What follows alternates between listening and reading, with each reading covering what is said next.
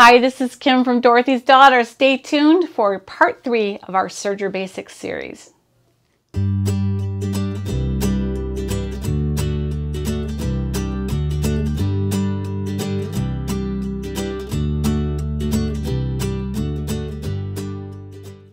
Hi, this is Kim from Dorothy's Daughter. If you want to take your sewing to the next level, you are in the right place today. Thank you so much for joining us. So we're in the middle of a serger series, um, Basics of Sewing with a Serger. So the first week I went over all the different parts of a serger, kind of all the terms that are used and what it does and what it's good for. In the second video, I did a little serge along, uh, sewing a classic tee on the serger so you could see it in practical use. So for the third video, I'm going to tie up loose ends and there are just a few more things I want to tell you about serging and basically today I want to talk about all the stitches that the serger does and some we've already gone over but there's a few decorative things and and that that I want to show you today. So let's talk about stitches. So first of all, um, the basic stitches that you've already seen. We've talked about the two thread overlock.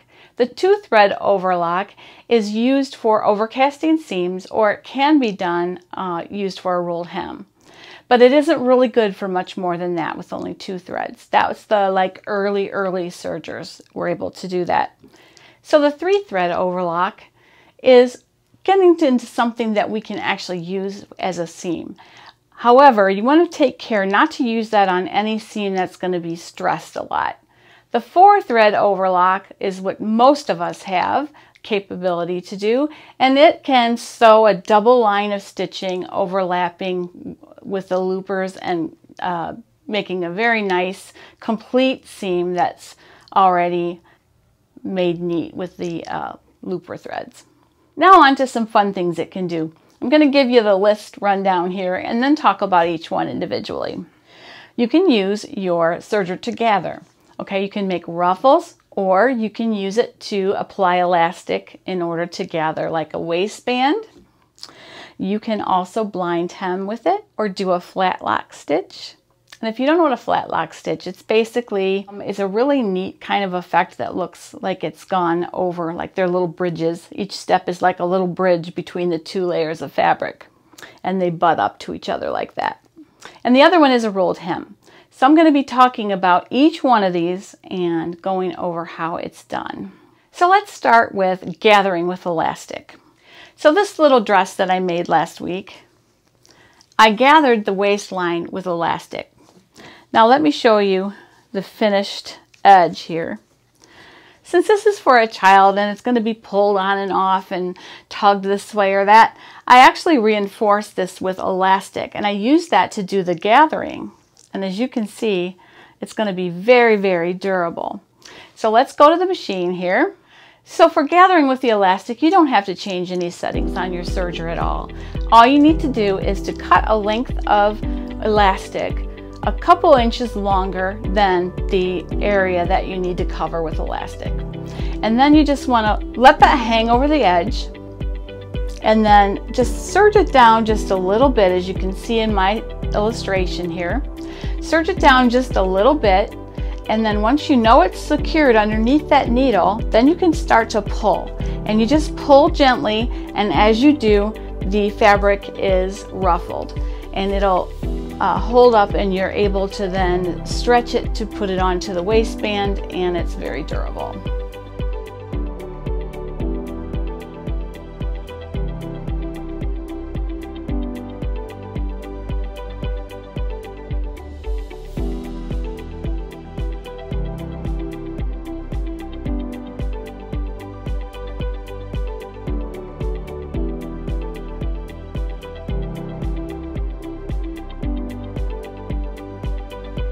For gathering, that's something that, uh, let's say you want to make a huge tiered dress. I mean, this is going to save you so much time. Or you just want to make some ruffles of a contrast fabric to put on uh, the end of a skirt or something. Really, really great thing to be able to do for little girls. So you could go buy an expensive ruffle foot for your sewing machine or you could just change a few things on your serger to make it ruffle. So basically what you need to do, you can stick with a four thread serger. On your settings, you're going to increase your differential feed and um, so that will make it go through faster and give it a little bit of ruffling. And then you're going to keep your stitch length between three and four.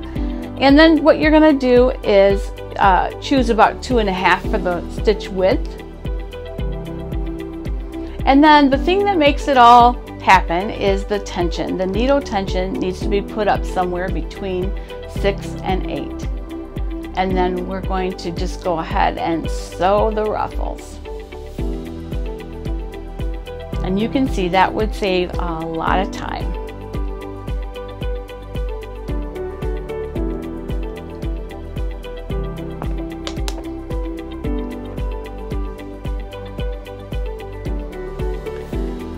The next stitch is a blind hem.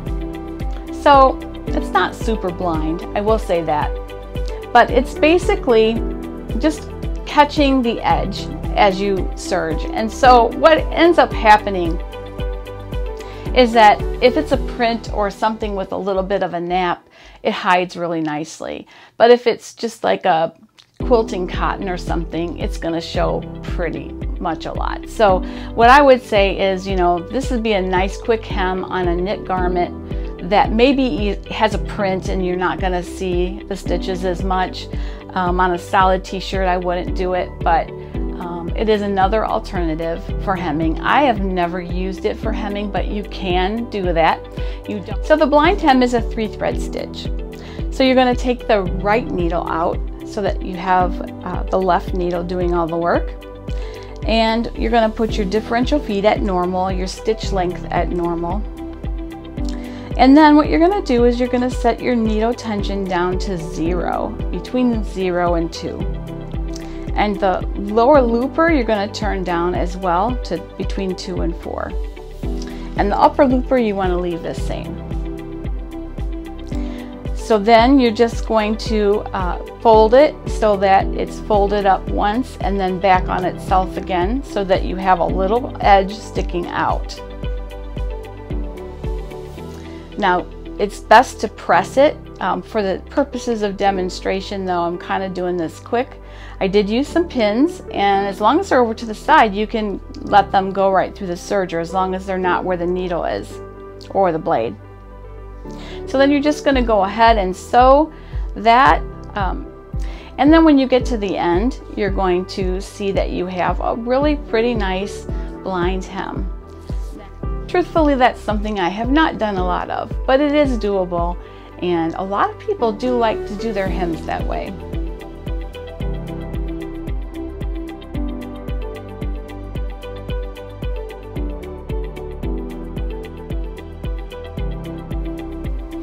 The next stitch is a flat lock and basically you would use this maybe as something decorative. You could also use it as a hem with it kind of showing in a decorative way on the outside. You're actually serging two pieces of cloth together and then once you have them sewn you open it up and then the flat lock stitch is visible. So this is a three thread operation. and your differential feed will be normal for this one. Your stitch length between two and two and a half. Now as far as tension, the upper looper is going to decrease to one to three. The needle is also one to three. And then the lower looper kind of stays the same as always. Now you're just going to go ahead and sew those together. And then when you open them up, you can see you have a pretty cool looking flat lock stitch.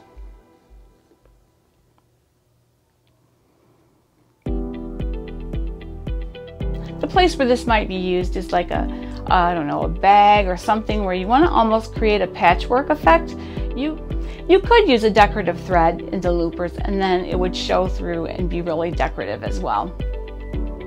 The last stitch I want to talk about is the rolled hem. And this is something that I use a lot and I think most people who have a serger tend to use a lot. The way this is done is a little bit different on each machine, so you're going to want to consult your manual. I will show you how I do it, but your manual for your serger probably will have um, a few other steps um, creating the situation where you have a rolled hem. So the settings on mine for a rolled hem, the basically the settings um, stay almost the same. Once in a while I will decrease the upper looper tension just so that it is looser and kind of all the threads kind of go to the back. And then I will also um, shorten the stitch length a bit so that um, it's closer together and it looks more like a satin stitch on the edge. For this one you're using only the right needle and the loopers. So it is also a three thread stitch, but without the left needle. And then you need to drop the stitch finger and that's done in different ways on different machines. Um, the two I've had are not even close to the same, so I'm going to just tell you to check your manual. Um, in mine, there's a lever that actually just drops it out of the way and causes the um, fabric to sort of roll as it's going under the needle. So check your manual and it will be probably spelled out clearly for you in there, the steps that you need to do to uh, set it up for rolled hemming. And then you just sew on the edge. As you can see, it makes a super nice little edge for chiffons and things that are um, delicate, um, things that if you hemmed it might show through. So that's a really great finish for something like that. Another thing you can do with a knit is as you're doing a rolled hem, I would not make the stitch length super, super close together for this, but what I would do is just stretch the fabric a little bit and you'll get a little lettuce edge, which is kind of cool as well. All right, so those are the stitches I have to talk about today. There's no way to really um, teach this without, you know, giving you the information and then you're just going to have to play with it. Consult your serger manual because like I said, everyone is a little bit different in how the, the stitch finger is dropped. A lot of people will uh, get the blade out of the way as well. I don't do that. Um, I just make sure that I don't go over far enough to cut it, but you know, there is a, on some sergers that will tell you to uh, just roll the blade out of the way. Now somebody in the comments on my last serger video asked me to show her how I thread my awful, awful old serger. It's not an awful serger, it's just awful to thread. So I decided to do that. I'm going to show this to you. I'm also just going to tell you that um, it's even harder to do from the side so that the camera can see.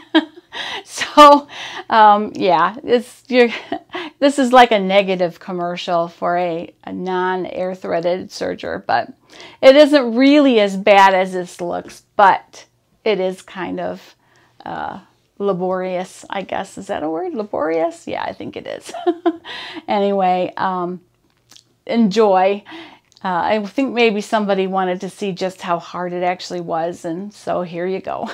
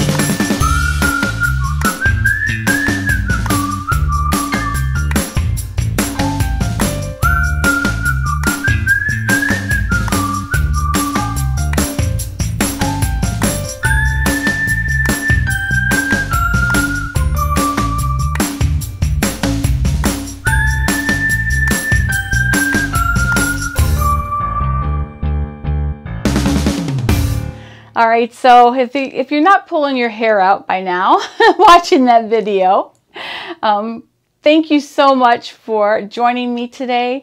Uh, if you like this video and you'd like to see more, go ahead and click that subscribe button. Click that little bell so you get notified. Like and share and comment. Thank you so much for everything. Have a fabulous day. I'll see you soon. Happy sewing.